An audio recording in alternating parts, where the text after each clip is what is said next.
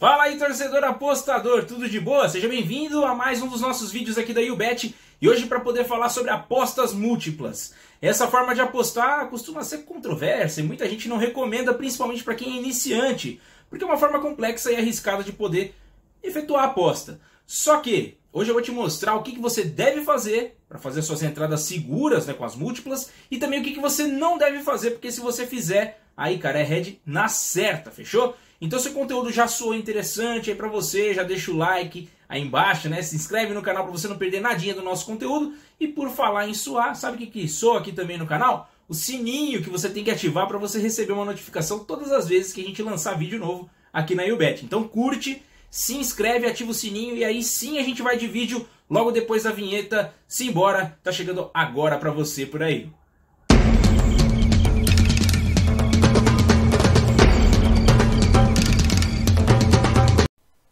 Bom, pessoal, então vamos começar a falar das múltiplas por aqui.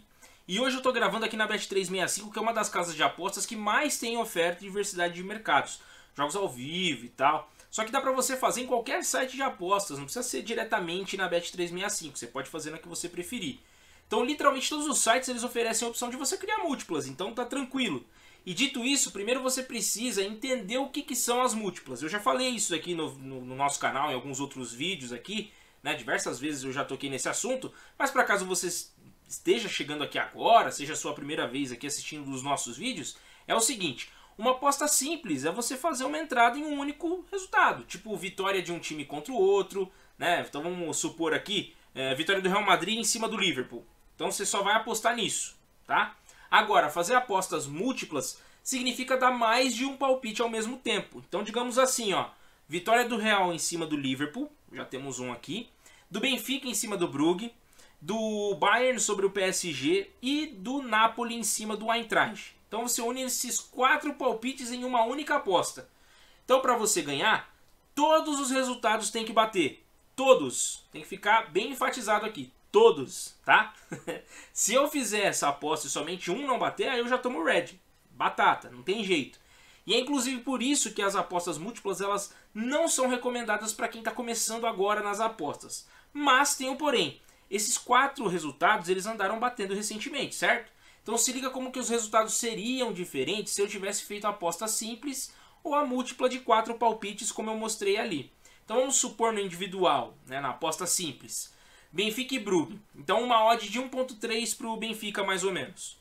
PSG e Bayern. Uma odd de 2.0 para o Bayern. Napoli e Eintracht.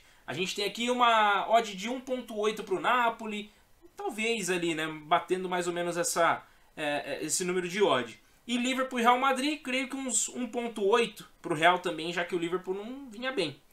Né? Então vou colocar essas estimativas aqui num bloco de notas e eu vou te mostrar. Então segura aí que eu já estou voltando já com o bloco de notas com essas possibilidades. Legal, então eu já tenho aqui no nosso bloco de notas tudo isso que eu tinha falado para vocês. Então o jogo entre Benfica e Brugge, 1.3, PSG e Bayern 2.0, né?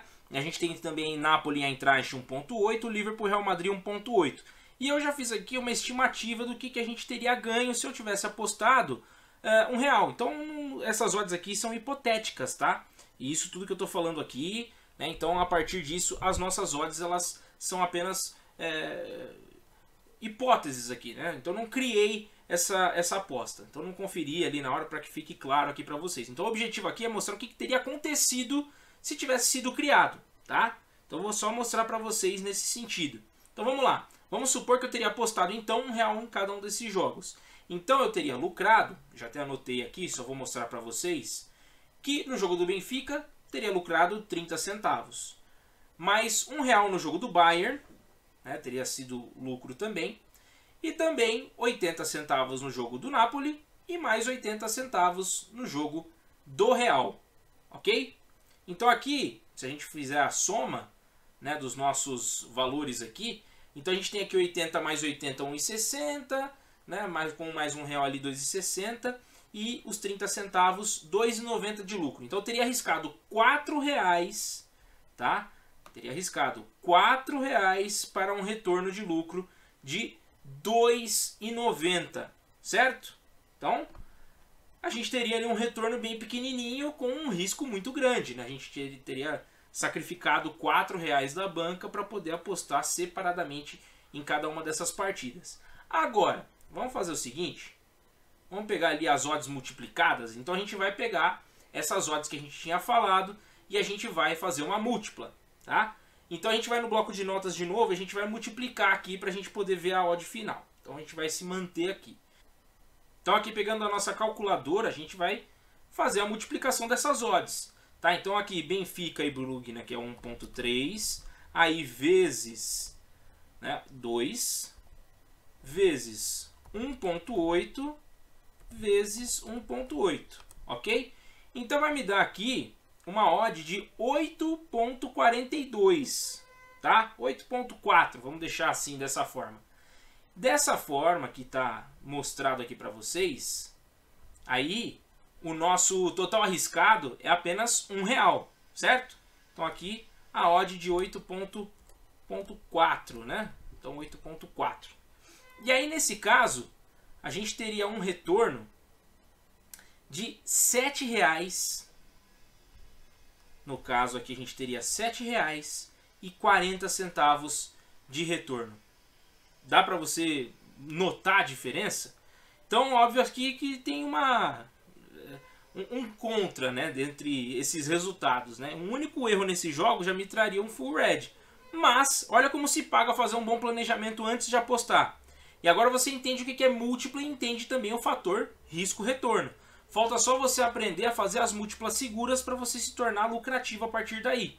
Então vamos começar pelo método mais simples de todos, que é o de dupla hipótese. Então vamos pegar a lista de jogos da Premier League na próxima rodada. Então vamos pegar aqui eu já volto com esses próximos jogos para você.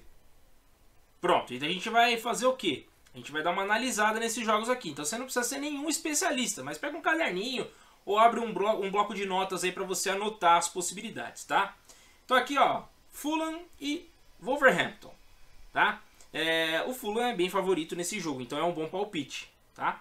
É, a gente tem outro jogo aqui, só que esse jogo foi adiado. Então aqui eu não vou nem colocar Newcastle e Brighton, só, só pra gente poder falar sobre os dois times aqui. Os dois estão meio juntos na tabela, não é o melhor jogo, então também tá tranquilo. Só que por ser na casa do, do, do Newcastle, dá pra dizer que, que leva uma certa vantagem. Porém, esse jogo já não tá contando mais.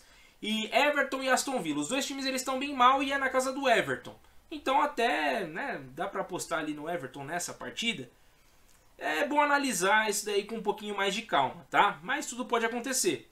Leicester e Arsenal. A gente já tem aqui um jogo um pouco mais forte, o Arsenal bem favorito, né? Mesmo fora de casa. A gente tem o West Ham e Nottingham Forest, mesma coisa do Everton e Aston Villa, então tudo pode acontecer. Leeds e Southampton. A gente também aqui nem se fala, né? Acho que nada salva o Leeds do rebaixamento nessa temporada. E Bournemouth e, o, contra o City, né? Manchester City. A gente tem também essa partida. E a gente pode falar o que aqui a partir disso, né? A gente tem aqui dentro dessas possibilidades, né, do Bournemouth, o City é completamente favorito. Crystal Palace e Liverpool, aqui apesar de alguns tropeços, o Liverpool segue como favorito. Não dá pra gente poder tirar isso do, do time do Liverpool. E depois a gente tem, né, por fim aqui, Tottenham e Chelsea.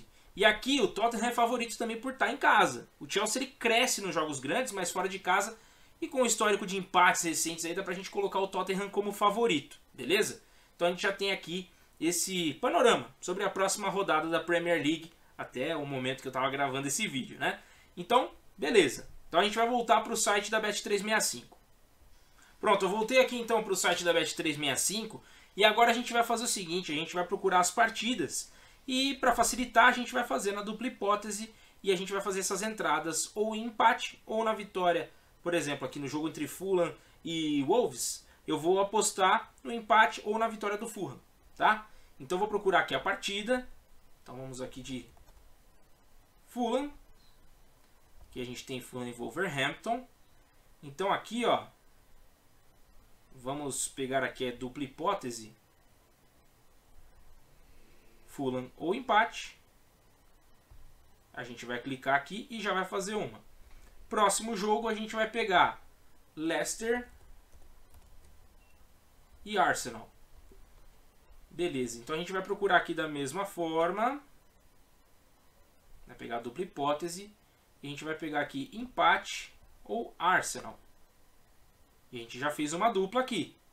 Beleza? Vamos para a próxima partida? Vamos pegar aqui então o Bournemouth. Aí, legal. Contra o Manchester City. E a gente vai fazer a entrada no mercado de dupla hipótese para empate ou vitória do City, tá? Empate ou Manchester City. E por fim, a gente vai pegar aqui o jogo do Liverpool, que vai jogar contra o Crystal Palace, tá? E a gente vai fazer da mesma forma. A gente vai pegar aqui no mercado de dupla hipótese, empate ou o Liverpool. Vamos colocar mais uma aqui. Vamos aproveitar e vamos colocar mais uma. Então a gente vai aqui também para Tottenham e Chelsea. Mercado de dupla hipótese de novo. E aí a gente vai apostar no empate ou o Tottenham vencendo. Certo? Então todos os palpites aqui que a gente está falando são muito plausíveis e junto disso daí tudo, a gente somou, fez aqui as, as nossas multiplicações a partir dessas odds aqui, colocando 5, tá? E vai ficar num total de 2.83. Então vai ficar super tranquilo para você poder atingir esse palpite e para que ele seja certeiro. Pode ser que ainda aconteça zebra? Pode ser, mas aí você já diminui bastante com essa dupla hipótese. Cai também o valor da odd? mas ainda assim é um valor bem interessante. Beleza? E aqui, só para a gente poder fechar, então a gente, a gente fala para você, você conseguiu entender como é que você faz esse processo? É bem simples e mesmo que um time favorito tropece ali, acabe empatando, mesmo assim você vai ainda lucrar nesse mercado. Claro que se um deles chegar a perder um jogo é full red, né? mas aí a probabilidade é bem baixinha. E pelo menos você vai estar tá arriscando pouco por ser um palpite só.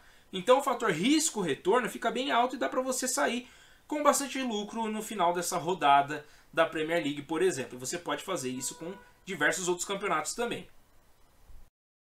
Bem simples, gente. Apostas seguras com odds baixas inicialmente, certo? E se você é do tipo que não gosta muito de correr riscos e não curtiu muito porque a odd passou de 2.0, então faz sua análise e divide seus palpites em dois blocos e aí você manda bala. Você pode fazer múltiplas com menos partidas se você preferir. E como você está começando, eu recomendo bastante que você se mantenha no mercado de dupla hipótese, porque ele é bem tranquilo de fazer boas leituras e ter palpites com grandes chances de bater. E agora, outros mercados aí vão ser mais difíceis e você pode acabar tendo um grande prejuízo por ainda não estar tá ali acostumado a fazer as análises de tendências de gols, de escanteios, ambos marcam, etc. Então fica no dupla hipótese de início que ele tem até proteção contra o Red ali, né? Já que mesmo que um time favorito tropece, acabe empatando, você lucra. Mas é isso por esse vídeo, rapaziada. Eu vou encerrando por aqui, mas eu te vejo no nosso próximo conteúdo da YouBet. Não se esquece, deixar seu like aí, se inscrever, ativar o sininho, porque isso é muito importante pra gente, tá bom? Um grande abraço e até a próxima. Valeu!